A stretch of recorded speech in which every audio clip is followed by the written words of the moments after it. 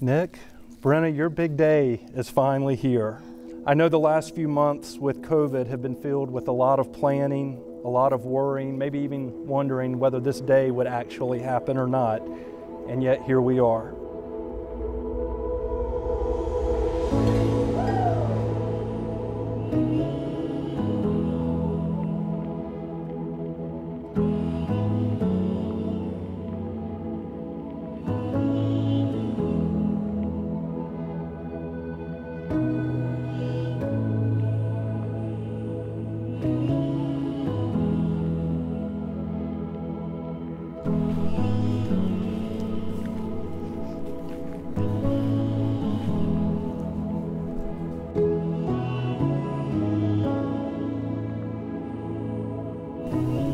I can't even say it. Turn around.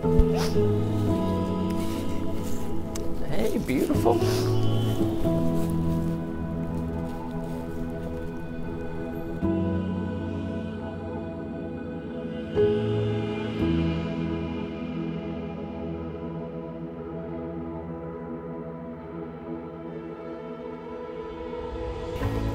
Brenna, you make me laugh, you make me think, and above all, you make me happy. I promise to be your travel buddy, your best friend, and your husband. I promise to honor and cherish you through life's adventures. I vow to always protect you from harm, to stand with you against your troubles, and to look at you when I need protection. I vow to make the most of every moment, every day. Your love gives me hope, your smile gives me joy, you make me a better man. Nick. Whew.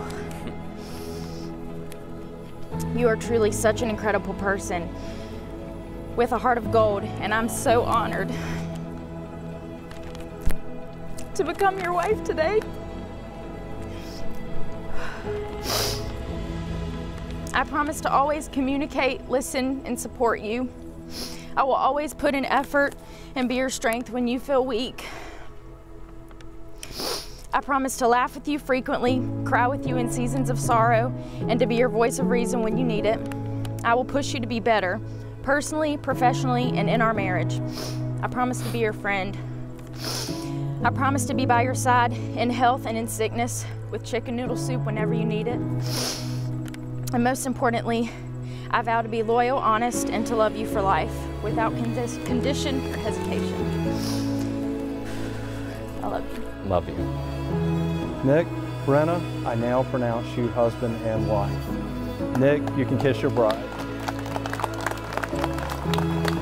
Ladies and gentlemen, it is my privilege to introduce to you for the first time Mr. and Mrs. Nicolas Cogliotti.